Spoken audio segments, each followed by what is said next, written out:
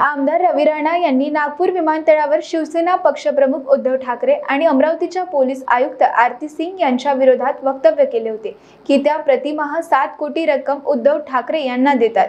या खोट्या आरोपांच्या निषेधार्थ आज सकाळी साडे अकरा वाजता पूर्व नागपूर चिखली चौकात शिवसेना नागपूरद्वारे विरोध प्रदर्शन करण्यात आले व रवी राणा यांच्या विरोधात कळमना ठाण्यात तक्रार नोंदवली गेली आहे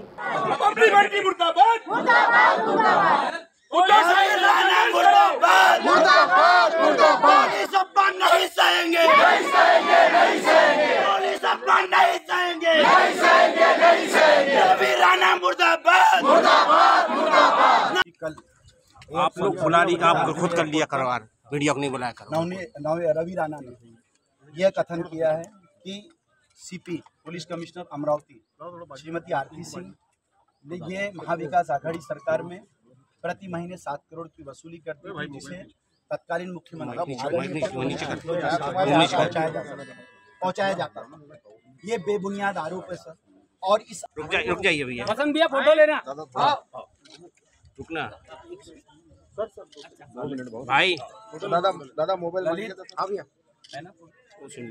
रवि राणा मुर्दाबाद। मुर्दाबाद मुर्दाबाद। रवि राणा मुर्दाबाद।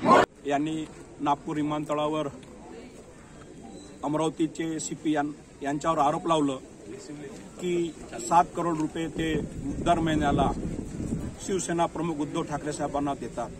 हे निराधार आणि खोटे आरोप आहेत. शिवसेना हे कधीही बर्दाश्त करणार नाही. यांनी सिद्ध करावं.